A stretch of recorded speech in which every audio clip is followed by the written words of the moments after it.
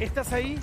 Y estoy muy ansioso porque vean esta casa maravillosa que tenemos. Ya hay problemas con la política, Sí, Carmen. Carmen se armó un escándalo de lo que hablamos ayer de este jugador de Alfa. Alberto Fernández lo conozco hace 35 años.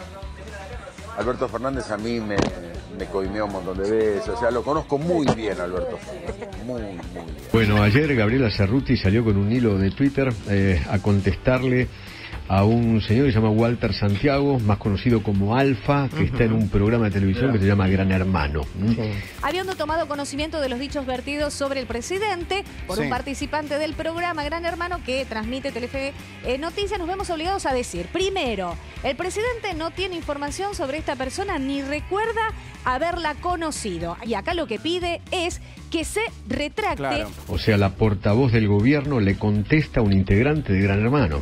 Sí, sí, sí. Como, como si el país no tuviera ¿viste, otros problemas que lo que diga alguien en Gran Hermano. La vocera expresó lo que el presidente piensa. No vas a salir a contestarle a Gran Hermano. Dijo este señor, Pónganse a el laburar. Qué rápido que pasa la... pedo que estamos.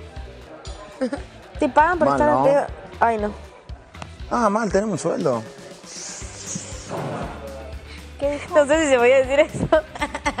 Este es un programa que trabaja obviamente con cámaras abiertas. Entra en una casa que tiene más de 60 cámaras con más de 70, 80 micrófonos.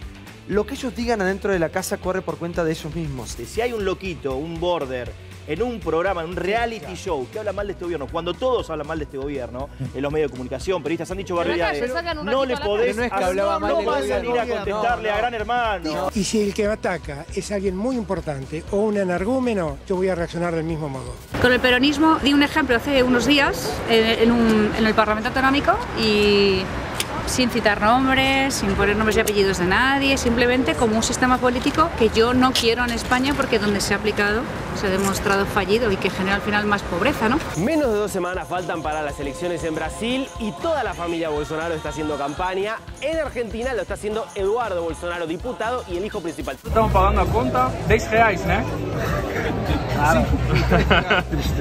El dato central de debate les cuento que era que hay mucha inflación en Argentina. igual Perdón, sí es real. ¿no? Pero ya lo sabemos, que no tiene no, ni digo- Bolsonaro a contar eso. casi alcanzamos un 100% de inflación, que es el doble que nos dejó Macri, y es el quinto año de pérdida de poder adquisitivo, un 20% del salario de los trabajadores perdieron en, en cinco años. Digo, ¿por qué vamos a decir que esto es peronismo? El día de la lealtad dividida en cuatro actos, ¿no? Sí, señor. Epa, eh. Movimientos sociales por un lado, la CGT por otro, la CGT de la otra por otro, el presidente por otro. Y el Día de la Lealtad es un día para los peronistas muy emblemático, pero es un día que es propiedad de todos los argentinos. Todos los compañeros y compañeras de las actividades esenciales dieron una gran mano, mientras AEA y otros hacían Zoom para ver qué hacían con la Argentina. La gente que fue, ¿es leal al chorizo o no? Eh, sí, sí, sí, legal el chorizo, igual que los putos, No hace falta explicar lo obvio que lo que dijo el parrillero, choricero, vendedor ambulante.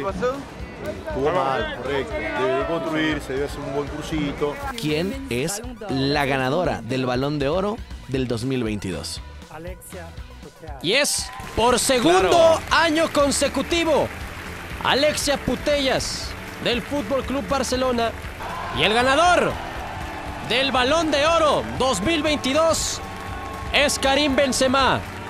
Conmovido totalmente, Karim Benzema Lo único que te deseo es que seas muy feliz, muy feliz, que te vaya muy bien siempre en la vida, te lo mereces. Tengo una profunda admiración por vos. Eh,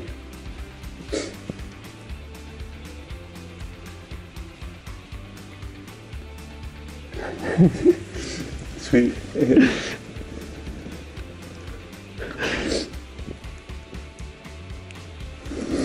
Спасибо.